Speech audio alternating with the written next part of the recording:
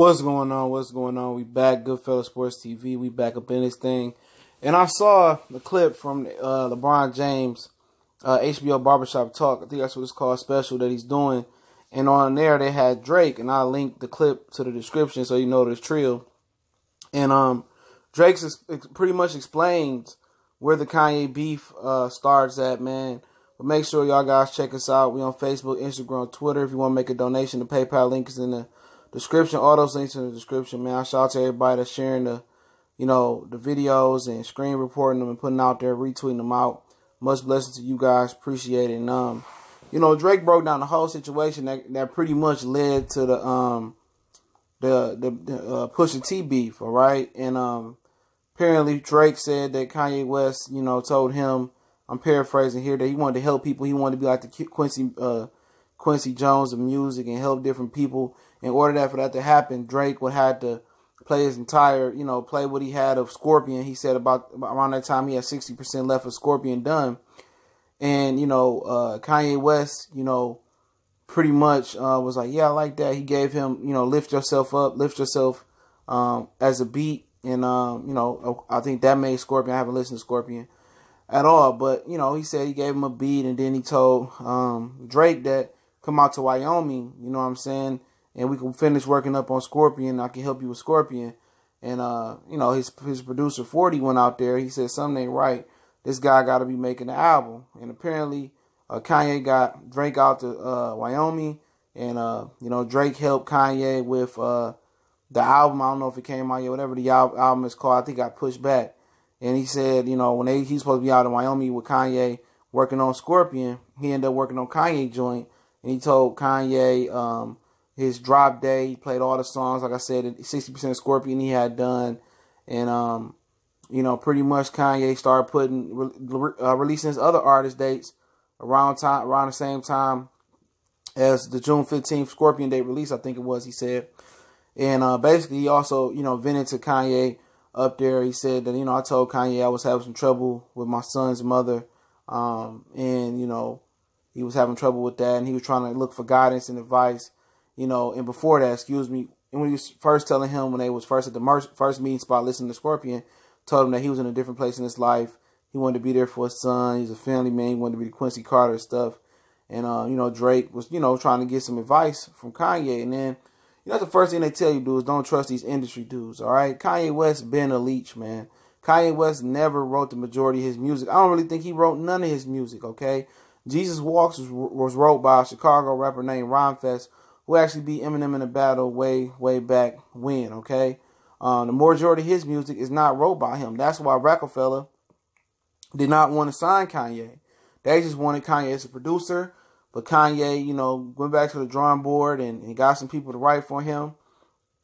And, um, you know, they signed him as a rapper. Kanye doesn't write, okay? So pretty much Kanye West, you know, pretty much duped this dude, got him to write a whole bunch of shit and work on his album for for just one song that I don't think was a was a uh, was a single off Scorpion, Lift Yourself, whatever you called it. He hustled Drake. Drake got hustled, you know.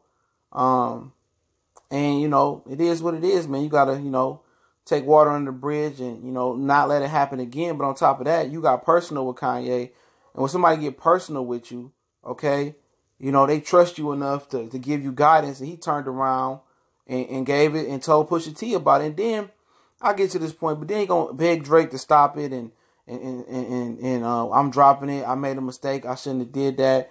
And, and, and, this and that. Okay, the beef is over. No, you don't get to dictate when the beef is over.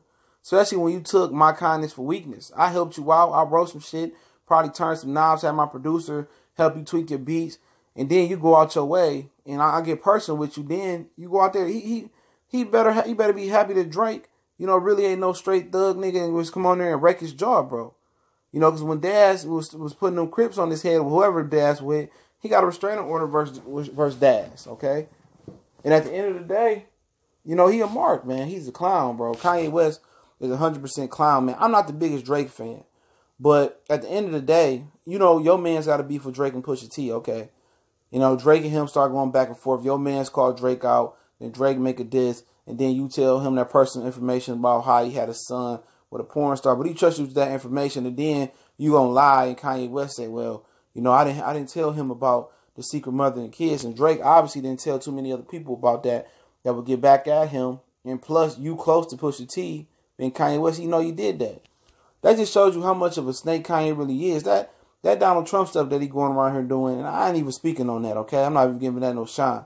But that stuff that he doing, man, he really he really a mark. He really a clown. He really fool fool, whatever you calling these dudes these days. And and Drake should continue to say, I slept with your wife Kim Kardashian. He should continue to well insinuate that he did and don't kill the rumors, even if he did or didn't. And if he didn't, I would still sleep with his wife, put a baby in his wife, and make him even more retarded. Because that's what he need. All this this politicking he doing for Donald Trump, bug dancing he doing for Trump, all this stuff that I kept it real with you, bro. I, I, looked at you for guidance. You said you wanted to be this, you wanted to be this family man. You wanted to be the Quincy Carter music, which ain't all good. Okay, I suspect Kanye is a little bit suspect if you catch what I'm saying. If anybody catch that drift, okay. You want to be all of that, but then you want to stab me in the back like that after I helped you with your album, bro. You know, then you want to say, oh, you don't write, but I helped you write on your album. And that just shows you how these industry dudes is. It's people that's it's musicians that I see every day. And some that I know these rappers are dying to be in the industry. Dying to be in the industry. I want to be in the industry. No, make your own industry, man. Make your own hot music. Learn to produce. Learn to engineer. Learn to record yourself. You know, teach somebody that can be your your your ace boom coon, can be your ace and that. Y'all record y'all make your own hot shit because there's more money out here being independent if you do it the right way than having slave ownerships and rubbing shoulders with, with these industry dudes. These industry dudes are straight leeches. Um, at the end of the day, Drake should have seen that con from a, way, a, a mile away. You know, his producer got there early, told him Wyoming though. You know what I'm saying? So this dude basically, you know, you know, he basically used Drake, man. And like I said, man, I'm not the biggest Drake fan. I respect the hustle. I respect the art of his, his, you know, everything he do. I respect his his music value, his entertainment value. Respect him, man, from coming from being an actor and, and being portrayed as a, as a kid actor, then becoming into coming a formidable artist that a lot of people respect. But at the end of the day, man, Kanye West just showed you how how bitch made he really is, man. How much of a of a female that he really is, man. And that's why dudes got trust issues. That's why dudes be walking ladies, that's why dudes be walking around mad. They can't trust nobody, they don't have nobody to talk to. You know, they just they just sit there staring at the ceiling, staring at the wall, just pondering, thinking. Sometimes your man's be in the days, y'all be on the day.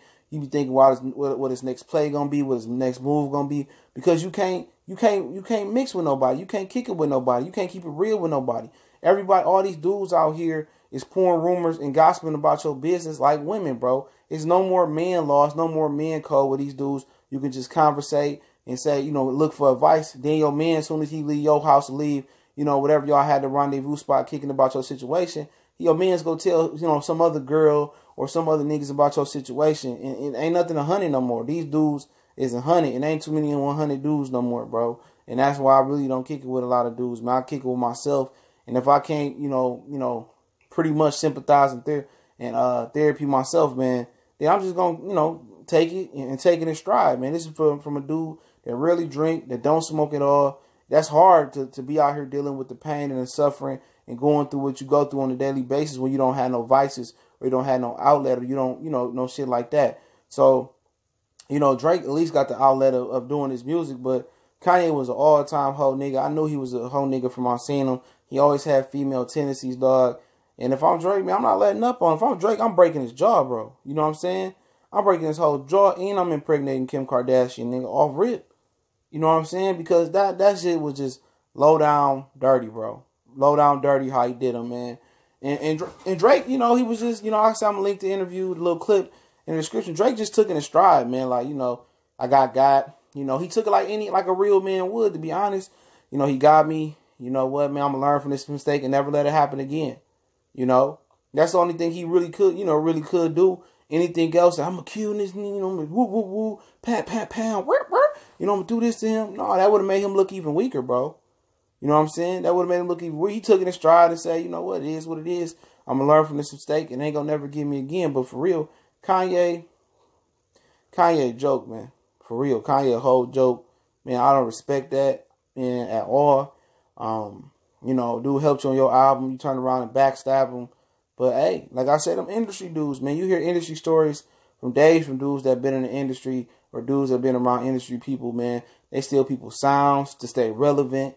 They they steal people music. They I mean, you go back to quote unquote, they said Cube stole some of uh um Cypress Hill's music. They said Jazzy Faye used to uh, you know, ship beats out to Dre and Dre used to put his name on it because he couldn't come up with more beats. You hear these swagger jacking and this music jacking all over music. So, you know, it is what it is. But the disgraceful thing is he he, he leaked personal business like his messy ass wife, Kim Kardashian, her uh, sloppy sucker sisters, all right? Her her uh dick ride mama. But y'all know what it is, man. Goodfellas Sports TV. Let me know how y'all feel. I linked a little clip in the description so y'all can check it out. Y'all know what it is. One time for the one time. Forgive me on Facebook, Instagram, Twitter. If you'd like to make a donation, keep the page uh, trending the right uh, uh, the right direction. You know, uh, please do. The PayPal link is there under donation. Shout out to everybody that support what we doing. Y'all know what the business is. We gone.